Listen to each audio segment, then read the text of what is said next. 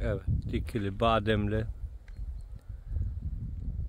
Bademlinin yukarısında bir dağ var, küçük çıktık. Burada mezar var.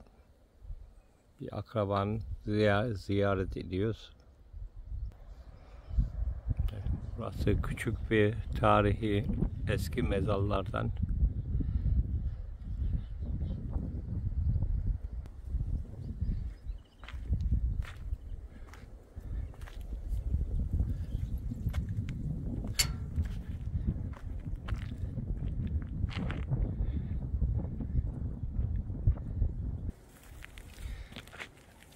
Yönümüz arabayla bu yan olunca